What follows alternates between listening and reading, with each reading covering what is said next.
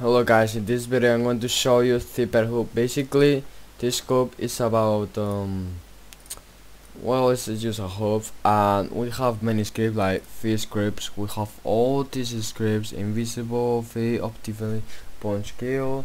I also like this one. I'm going to use it in one of my videos for trial stuff. But uh, I like this hub because they came scripts. So basically, this game this hub have many cool scripts. So I just joined Saber Simulator because I wanted to try the Saber Simulator script one.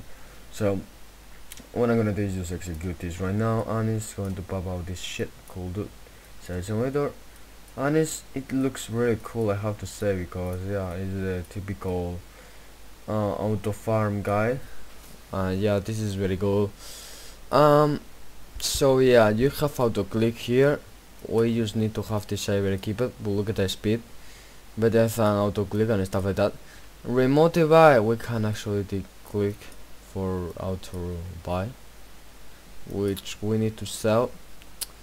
Um the, the last thing is auto farm coins which is um auto farm. So yeah when it pops out new coins it's going to get all of them.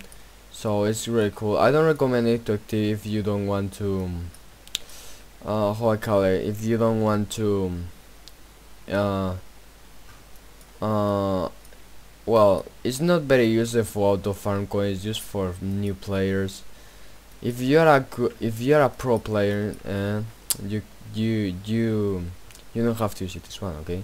So yeah I hope you enjoy and I'm going to leave the home in the description and yeah bye